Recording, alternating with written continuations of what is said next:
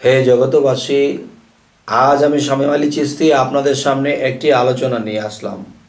সে আলোচনাটি হলো যে সর্ব অঙ্গ মায়ের মতো, বিয়ে করেছ কার মতো? হে জগতবাসী জানি না এই আলোচনাটি আপনাদের সামনে কি একটু সাজিয়ে গুছিয়ে বলতে পারব কিনা, তবে আমার মুর্শিদ, আমার আল্লাহ যদি আমার দিকে একটু সুনজর করে তাহলে এই কথাগুলো একটু সুন্দর করে বলতে পারব। তবে আজকের যে আলোচনাটি, যে আপনারা থামলেনের মধ্যেও পেয়েছেন, যে সর্ব অঙ্গ মায়ের মতো বিয়ে করেছ কার মতো? দেখেন, একটা মেয়ে মানুষ কিন্তু অনেক রূপে রূপান্তর হয়। যেমন একজন মেয়ে মানুষ, সে আমার বোন একজন মেয়ে মানুষ, সে আমার মা। একজন মেয়ে মানুষ, সে আমার চাচি, খালা, ফুপু। তাহলে দেখা যায় যে তারা কিন্তু একটা চরিত্র নিয়ে আমার কাছে আছে। কীরকম? যে আমার চাচি, সে চাচি। যে আমার বোন তো বোনই। যে আমার শাশুড়ি, সে তো শাশুড়ি।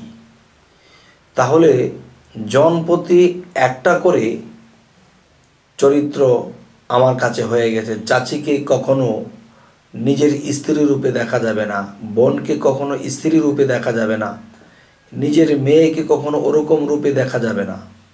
তাহলে বোঝা গেল যার যে চরিত্র, আমার সাথে একই চরিত্র সারা জীবন যতদিন বেঁচে থাকি। কিন্তু স্ত্রীর চরিত্র একজন স্বামীর কাছে কয়েক প্রকারের চরিত্র, কয়েক প্রকারের ধরন। কেমন? যেমন, আমার স্ত্রী যখন আমাকে ভাত বেড়ে দিয়েছে, আমি খাওয়া দাওয়া করতেছি এবং তিনি বাতাস করতেছে, আমি খাইতেছি, তখন আমার স্ত্রী তখন ওই সময়ে স্ত্রীর রূপ নয়।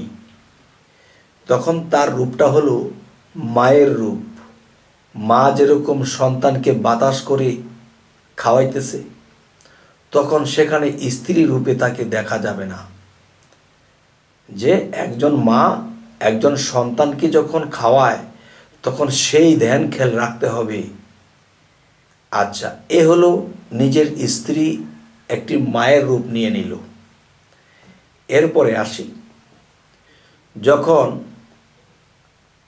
যে দেখা যায়, কাপড় চোপড় ধুইতেছে, ঘর পরিষ্কার করতেছে বা বিভিন্ন কাজে কামে আছে বা নাস্তা বানাইতেছে যে কোনো একটা কাজে যখন সে থাকে, তখন দেখা যায়, একটা কথা আমি বলে থাকি যে, এই পৃথিবীতে সমস্ত নারীকে যদি কেউ মায়ের রূপে দেখে নিজের স্ত্রী ব্যতীত সমস্ত নারী জাতিকে যখন মায়ের রূপে দেখবে, তখন তার কখনোই এই দিকে কুদৃষ্টি যাবে না। যেহেতু মায়ের দিকে কখনো কুদৃষ্টি করা যায় না। আচ্ছা তো এখন বিষয় হলো যে নিজের মায়ের পেটের বোন তখন মনে করব যে সে কাজ করতেছে, ঘরে ছেলে মেয়েদেরকে লালন পালন করতেছে, তখন সে একটা রূপ নিল। এটা বোনের রূপ নিল। এখানে অন্য কোনো রূপে তার দিকে আমার কল্পনা বা তার দিকে চাওয়া যাবে না। আচ্ছা। যখন সে একনিষ্ঠভাবে আমাকে হাত দুটো ধরে বলতেছে যে, তুমি আমার স্বামী, তুমি আমার কাছে অনেক দামি। তো এখন বলব কিছু কথা আমি। সেটি হলো যে আমার জন্যে তুমি এই জিনিসটা কিনে এনো, আমার জন্য তুমি এই জিনিসটা এনে দিও। তখন এখানে স্বামী স্ত্রীর মহব্বতে একজন আরেকজনের দিকে তাকানো হচ্ছে এবং দেখা যায় যে স্ত্রীর রূপটা কখন আসে? যখন দেখা যায় যে নিজের একই ঘরে বাসস্থান, একই ঘরে শোয়া, ওঠা, বসা। তখন স্বামী স্ত্রীর যে রূপ তাদের মধ্যে এসে যাবে, সেই কল্পনা, সেই ধ্যান ধারণাটা এসে যাবে। সর্বসময় তাকে একই রূপে দেখা যাবে না, বিভিন্ন রূপে দেখা যাবে। তখন কি হবে? আমাদের ঘরের মধ্যে ছেলে মেয়ে যারা আছে, তারা দেখতেছে যে আমার আব্বা, আম্মা ঠিক যেমন একজন আরেকজনের মুরব্বী, এরকম একটা ভাব তাদের মধ্যে পাওয়া যাচ্ছে এবং তারা এই জিনিসটা শিখতেছে এবং দেখা যায় যে যখন তিনি ঘরে গোছানো কাজ করতেছে, এটা সেটা করতেছে, তখন দেখতেছে ছেলেমেয়েরা যে আমার মা এবং বাবা এই দুজনের মধ্যে এমন একটা সম্পর্কের মতো দেখা যাচ্ছে যে তাদের মধ্যে কত একটা আদব, একজনকে একজন যে আদবের সাথে ডাকে এবং বলে। তখন মনে হয় যে তারা খুবই এক মার, এক মায়ের পেটের ভাই বোনের মতো, কত মহব্বত। কিন্তু দেখা যায় অন্য অন্য সময়ে পিতামাতা যদি একই রোমে থাকে, তখন তাদের চরিত্রটা আরেক রকম হয়, মধুর হয়। তো এই জিনিসগুলো যখন একটা ফ্যামিলির মানুষ বাচ্চা কাচ্চারা দেখে বড় হবে, তাদের মধ্যে এই জিনিসগুলো গড়ে উঠবে। যাই হোক, আজকের যে আলোচনার মধ্যে যে মূল আলোচনাটাই রয়ে গেছে, সেই মূল আলোচনাটা কি?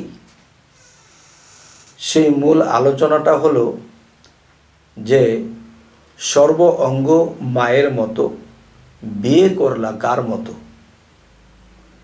তো এই কথাটা যদি আমি বলতে যাই যে জানলে কথাটা সামান্য আর না জানলে অনেক কিছু।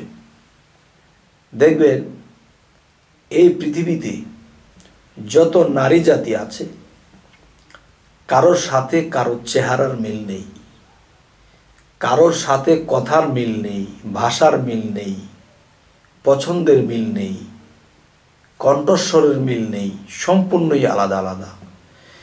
তাহলে বিয়ে করলা কার মতো? সর্ব অঙ্গই তো মায়ের মতো। তো বিয়ে করা হলো যে আমার স্ত্রীর চেহারার সাথে, আমার মায়ের স্ত্রীর সাথে, মায়ের সাথে মিল নেই, আমার বোনের সাথে মিল নেই, আমার মেয়ের সাথে মিল নেই, আমার চাচির সাথে মিল নেই। তাহলে কি?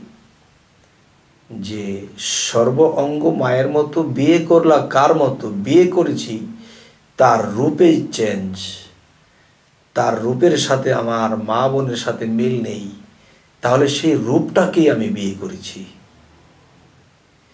তাহলে আজকের কথার যে ফাইসালা, এটাই যে আমি যদি জানতাম যে এই রূপে আমার বোন এই রূপে আমার চাচি, এই রূপে আমার খালা ফুপো, তাহলে আমি এদেরকে কখনো বিবাহ করতে পারতাম না। তাহলে বিবাহ যখন করেছি, তখন দেখেছি যে তার চেহারার সাথে কারও চেহারার মিল নেই। তাহলে তিনি তিনির মতো, আমার স্ত্রী স্ত্রীর মতো, তার সাথে কারও মিল নেই। তাহলে বোঝা গেল কি? যে আমি সর্ব অঙ্গের মধ্যে আমার স্ত্রীর চেহারার সাথে কারও চেহারার মিল পাইনি। তবে এই কথাটা বেশিরভাগ লোকেই জানে।